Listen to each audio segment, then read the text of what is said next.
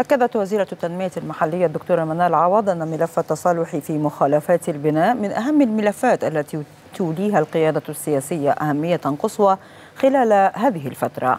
جاء ذلك خلال اجتماع موسع مع سكرتارية عموم المحافظات لمتابعة ملفات التصالح في مخالفات البناء وتقنين أراضي أملاك الدولة ومنظومة المتغيرات المكانية.